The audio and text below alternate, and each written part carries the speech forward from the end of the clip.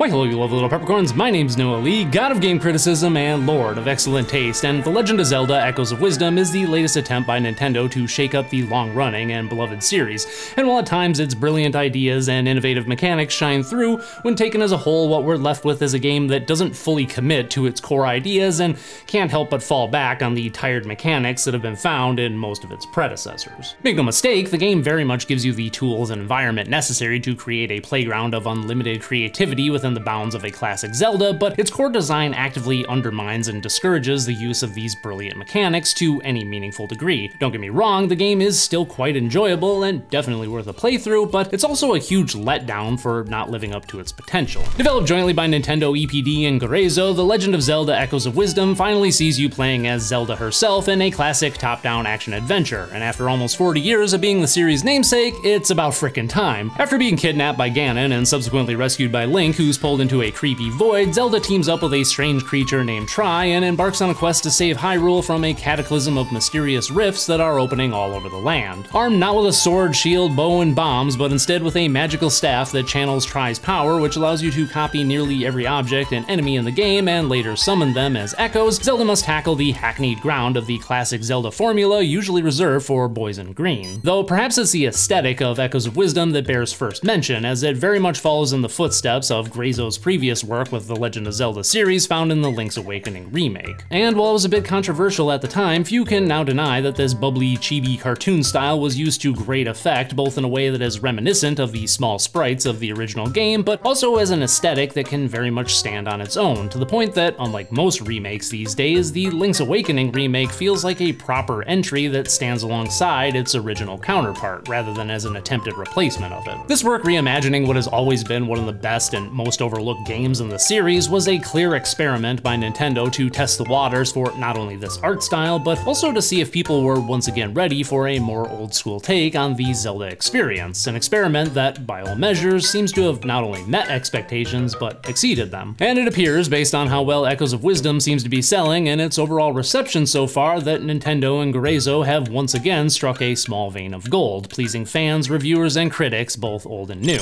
Which means I have quite the uphill battle ahead of me in trying to convince you of this game's failings, because, well, honestly, I did really enjoy my time with Echoes of Wisdom. I also don't think it's a very good game. In fact, I think it's just sort of okay, actually. Enjoyably okay in many ways, as playing around with its core echo system is a lot of fun, but overall it's nothing to write home about, as this interesting system is so woefully underutilized or even incentivized by the game's core design, dungeons, bosses, and progression certainly not the windfall it's currently being touted as. Now, I don't discredit the experiences of the hundreds of thousands of players who are currently playing and enjoying the game. Like I said, overall, I enjoyed it as well, but I think if most players were to stop and think about this game for more than just a couple of minutes, they'd see that it really isn't living up to its potential. Far from it, in fact, that all the innovations and neat ideas it has aren't fully committed to, and that Nintendo and Grezzo continually fall back on well-worn Zelda tropes and interactions, repeated scenarios, and combat combat systems that make little use of the core mechanics of the game, if not outright ignoring them. Let's start with that primary gimmick, which is the ability to copy almost every item and enemy in the game and then resummon them as an echo. This is genuinely a great system that opens the door for a bevy of creative solutions, emergent gameplay, and experimentation such as allowing you to pretty much go wherever you want in the overworld right from the get-go if you're clever, such as by stacking objects to climb over a line of trees or hitching a rod on a spider to climb the mountainside. Yet this echo system goes much further than simply allowing you to stack tables and boxes to climb over an obstacle or summon enemies to fight on your behalf by having different echoes interact with each other in unique and creative ways, such as by summoning a ground echo alongside a flying echo to confuse an enemy with a shield, or place a water block on the ground and shove an enemy into them and watch them drown.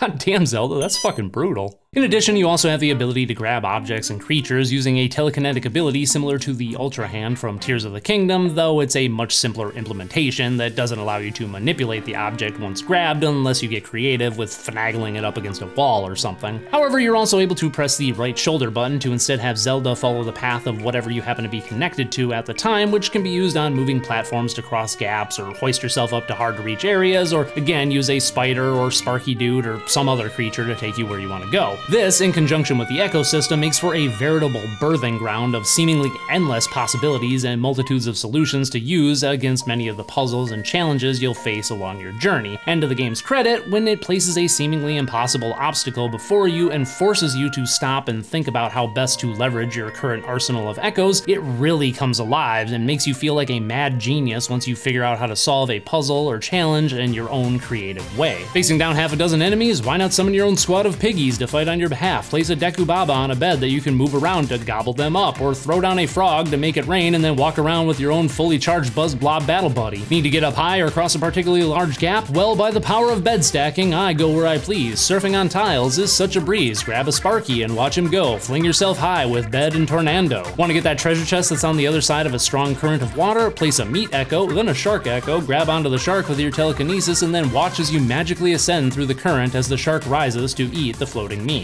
Moments like these are where Echoes of Wisdom truly shines and hints at not only a fantastic game, but a downright profound artistic experience that can only be accomplished in the medium of video games. The problem, however, is that moments like these, which should be the sole focus of the game, are few and far between, and often the game, and seemingly the developers, forget that it has such a unique system at its disposal and instead fall back on classic Zelda tropes, minigames, and encounters where using the echo system isn't really necessary or indeed even taken into account. And that is ultimately why I feel this game is an overall failure, despite its enjoyability. The echo system, the sole thing that makes the game noteworthy in the first place, feels very tacked on and often inconsequential, almost as if the developers didn't have enough faith in it to carry the whole game. Make no mistake, you can use the echo system to do some crazy fun stuff, like rocketing through the desert while connected to a Caro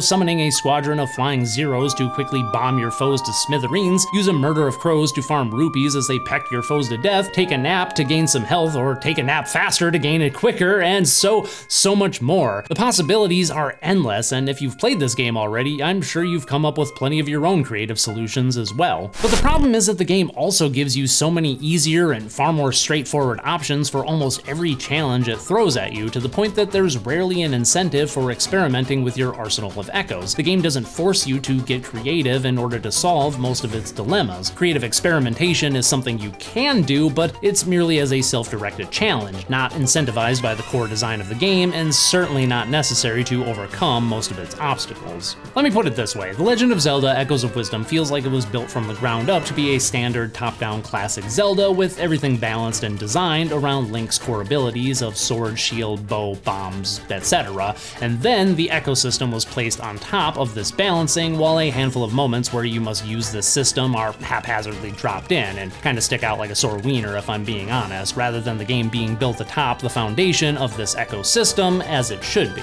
And based on some of the developmental material Nintendo has shared on this game's creation and a handful of developer interviews, this seems to have been the case. Both the echo system and the decision to play as Zelda instead of Link came about after they already had a framework in mind for what this game was going to be. Sure, the echo system was being experimented with even early on in development, but it was much later before they'd made the decision to make it the primary set of mechanics alongside the inclusion of Princess Zelda as the protagonist. And it very much shows, as this game feels like it was originally going to be a standard top-down Zelda starring Link, where the echo system was merely a secondary gimmick alongside his standard arsenal, because it was. That baggage of a much more ordinary Zelda game is still present and holding back Echoes of Wisdom from becoming the incredible game it so easily could have been if more commitment to its core ideas had been made. You'd expect that a system like this would be the primary focus for nearly every task that Nintendo likes to include in their games, especially side quests and optional areas, as these are the moments where the developers often feel more comfortable leaning into the finer intricacies of newly implemented mechanics, as these side quests are, by their very nature, optional, meaning that if a player can't figure it out or doesn't have the skill necessary to complete a given task, it's not a huge loss, as it doesn't prevent them from interacting with the main game. Compare Echoes, for example, to Tears of the Kingdom and how much it leans into its Ultra Hand ability that allowed you to build pretty much whatever you want out of the multitude of objects and devices scattered throughout the world. The core design of the game, in turn, naturally reflects this as you're forced to make a hot air balloon or a flying machine to reach distant floating islands or quickly scale a mountain, create a contraption to haul a Korok across the map to their friend, or build machines of war to complete side quests or take out a camp of enemies that are standing between you and your goal. In addition to this system being a creative well of endless possibilities that players can mess around with, the game also has tons of side quests and mini games, extra tasks, and combat encounters which not only incentivize using the system as often as possible, but usually force you to interact with it as traversing the layout of the very world requires its use. However, for Echoes of Wisdom, it seems as though they've taken the opposite approach when it comes to its core design, and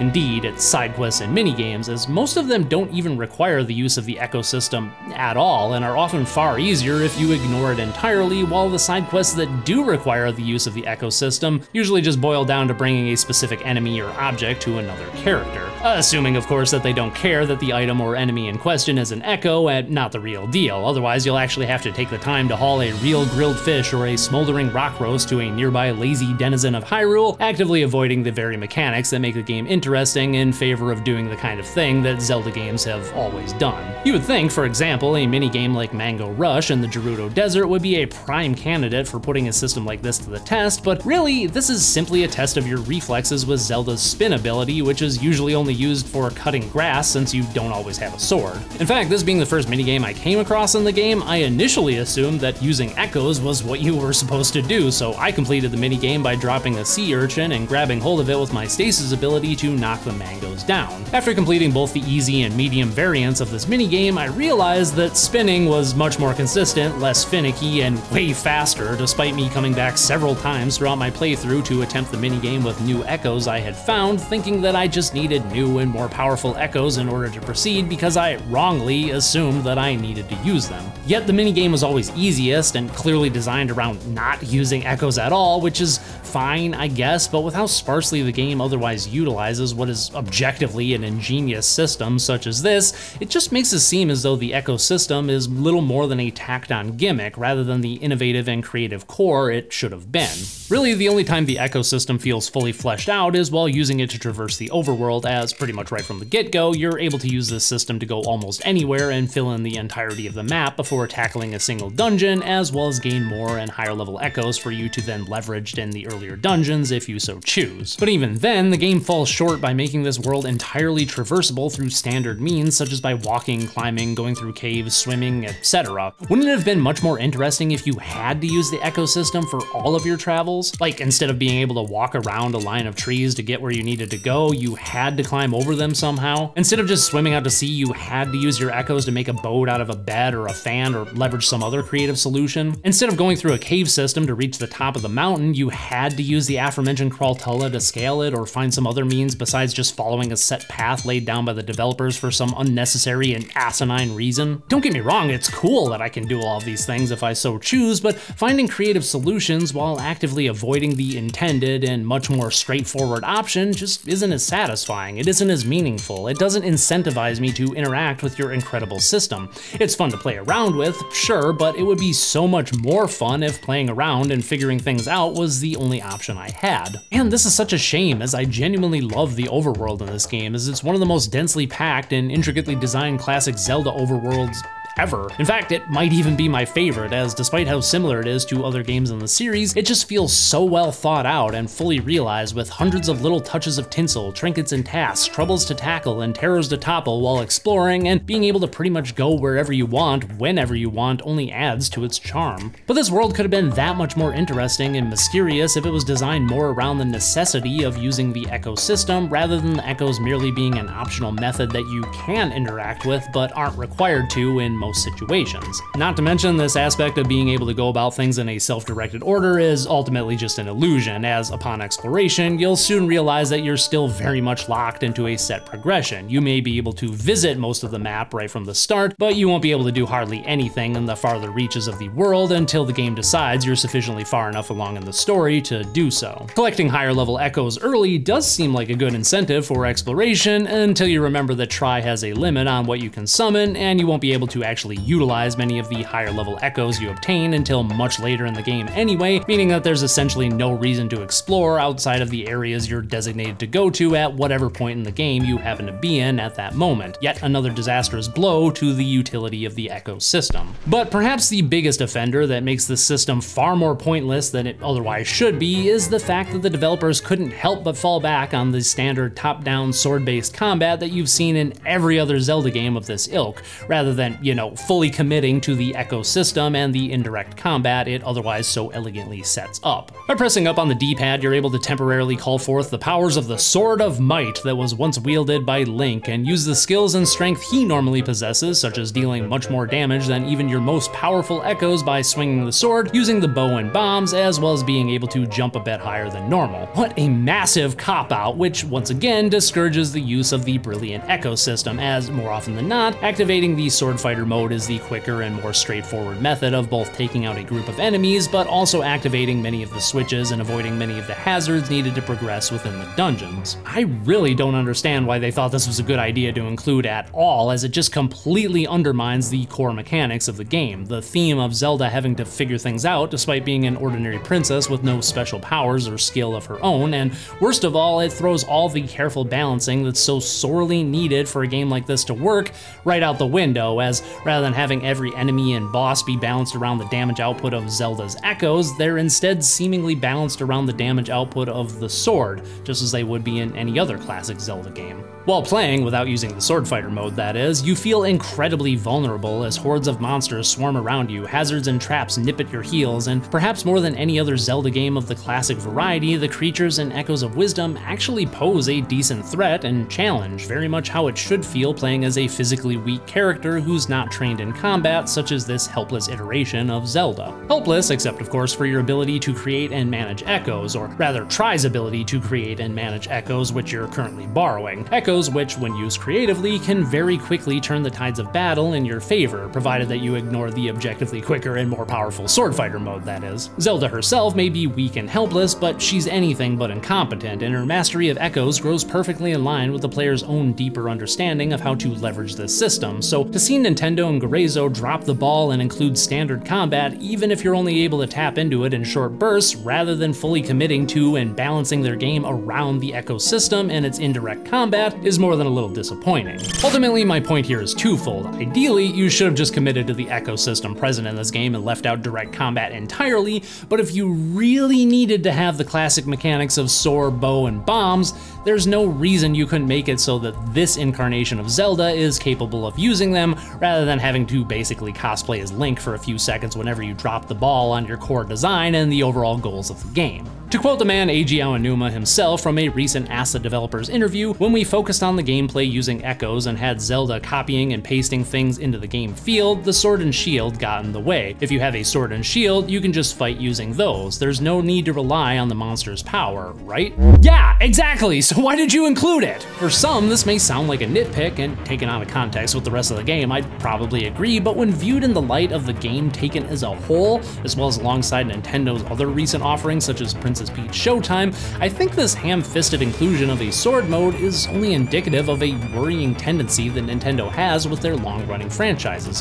which is an unwillingness to stray too far from the pre-established trappings of each series to truly innovate within them, a mistrust with the creative process and in their collective muse that leads them to make forced and out-of-place decisions that harm games that otherwise could have the potential for greatness, but instead are beaten and battered and stuffed into a package they simply don't fit just just to protect the brand, just to deliver the sweet steady drip of nostalgia that guarantees another sale. Breath of the Wild and Tears of the Kingdom may not be my cup of tea, but I respect the hell out of Nintendo for throwing all caution to the wind and committing to their new, grander world. I want to see that level of confidence with the classic style Zelda games as well. I want what Echoes of Wisdom could have been had Nintendo fully committed to its core ideas. In that same the Developers interview I just quoted from, Aonuma and company elaborated on the fact that they've been kicking around the the idea of making a Zelda game where you play as Zelda for quite some time, but could never figure out what that would even look like as, in their eyes, Zelda's not a warrior and would need a completely different set of mechanics in order to make that work as she simply can't use a sword. And this is, frankly, a bit offensive as there's no reason Zelda couldn't be a warrior in this game, but instead they decided to stick within the same groove they've always stuck to when developing her as a character by refusing to give her skills of her own that make her exceptional as an active agent, her Echo ability, if you remember, isn't hers, but really Tri's ability that she's only borrowing. Likewise, the Sword Fighter mode isn't her being skilled with sword, shield, bow, and bombs, but the power of Link's sword that has been tuned to his abilities and skills which she can temporarily tap into. This isn't a story of a helpless princess who discovers ability and power within herself as she's forced to rise to the occasion and save her kingdom, but the story of a helpless princess who remains a helpless princess as she merely borrows the power of others and then gives that power back once the rightful user returns and the quest has come to an end. Don't get me wrong, I'm not a fan of shoehorning the sword fighter mode into a game that should be all about summoning and finding creative solutions both in and out of combat, but the moment at the end of the game when Zelda finally meets up with Link's dumbass and she surrenders the sword to him, preventing her from directly engaging in combat for the final dungeon and boss of the game, is such a shitty thing to do to such an iconic character that fans have been eagerly waiting for a starring role for for over 30 years. Yes, I get that the idea is that this forces you to rely only on the echo system for the final stretch of the game, even though that's how the whole game should have been, and that the developers probably only thought of this as a final test of sorts, but it reads like the game is saying, alright princess, time to stop playing hero and give the man back his sword. If you use it any longer, you might break a nail or bruise that pretty little face of yours, Pat Pat. What is it with this weird hangup that Nintendo has with allowing their female leads to be an active agent while in a starring role, Samus notwithstanding, as in order for Peach to star in her own game, she too had to borrow the powers of others in order to kick ass, and that once the game ends, she too went back to being just another damsel, her adventure ultimately taking a back seat to that of her male counterparts. I suppose in that case, I sort of understand where they're coming from, as she's at least the same incarnation of Peach we've been seeing for 40 years now, so her suddenly being able to kick some ass without borrowing someone else's power wouldn't make a whole lot of sense, even though they've totally already done it several times throughout the Mario franchise in the instance where you can play as Peach. But this, however, is the Legend of Zelda series, a series that retcons almost everything from game to game with the exception of direct sequels. A series that in no way is limited to the pre-established abilities, mannerisms, and backstories of its characters. Hell, it's not like Zelda's never been a fighter in the past, she was a kick-ass ninja in Ocarina of Time, the badass leader of a pirate gang in Wind Waker, and even a goddamn dragon in Tears of the Kingdom. You can't tell me her character was what was holding you back all these years. There's no reason you couldn't make this version of Zelda a skilled swordswoman, or give her an innate ability to create and summon echoes of her own volition rather than having to call upon the powers of someone else if you really wanted to. This is one of the only long-running series where something like this is even possible without affecting the story and meaning of the games that came before, but rather than see this as an opportunity to mix things up and get creative from time to time, you instead see it as an excuse to keep treading the same ground over and over again with a different coat of paint, merely as nostalgia bait for the aging fans who should be the first to cry foul over you putting in the absolute bare minimum of effort with their favorite series, yet are somehow more than happy to lap up the sweaty drippings of Miyamoto's creative jockstrap. Zelda's merely a helpless damsel who's only competent when borrowing the power of others, or she must abandon her own agency and skills in order to become a helpless stand-in for the power of the goddesses, as is the case of Sheik and Tetra. And we, as the creators of one of the longest running franchises in video game history, are too afraid to step outside of our established idea of who she is and the potential she's always had as a character and hero. So when the game ends, so too must her powers and skills, and that post-credit scene with the camera slowly zooming in on her retired staff, now framed and mounted on the wall, should not be interpreted as a bittersweet nod to the end of a hard-fought journey, but a sign that Zelda's adventures and time as a hero are over and done with. Time to go back to being a damsel in distress, or a plot device who works behind the scenes to help the real hero save the day, because that's all she's ever been, and that's all we ever want her to be. Fuck you, Nintendo. Ah. And that's a real shame. In fact, this whole game is a real shame. Not because it's bad, because it's not. It's fine, it's enjoyable, I had fun with it, but I can't deny my frustration with how sloppy it all is, with how close it comes to being something truly profound, only for the developers to drop the ball in all the places where it really matters. I didn't make this video because I hate the game or I want to see it fail, I made it because I think the foundation for something incredible is there, and I'm disappointed that it didn't live up to this potential, or even come anywhere close. Hopefully, Nintendo will take another better crack at this concept one day, and that this is just a necessary prototype for something greater yet to come. As I said earlier this year with my critique of Princess Peach Showtime, Peach deserves so much more than the middling dreck she was given, and while I don't think Echoes of Wisdom is anywhere near as bad as that abysmal attempt at giving an iconic character her own starring role, Zelda, like Peach, deserves so much more than this. She deserves a game that's wholly consistent in itself and is willing to take a risk and fully commit to its interesting ideas rather than rely on tired mechanics that undermine the very core of what it is. She deserves to be respected enough to have her own adventure be drawn directly from her own power and skill as an individual rather than have that power ultimately belong to someone else as it currently does. She deserves her own story, not bound by the trappings of the Zelda mythos, lore, and cliches as much as it currently is. She deserves a better game than what she got. And so do we. I'm Noa Lee, god of game criticism, and thus have I spoken.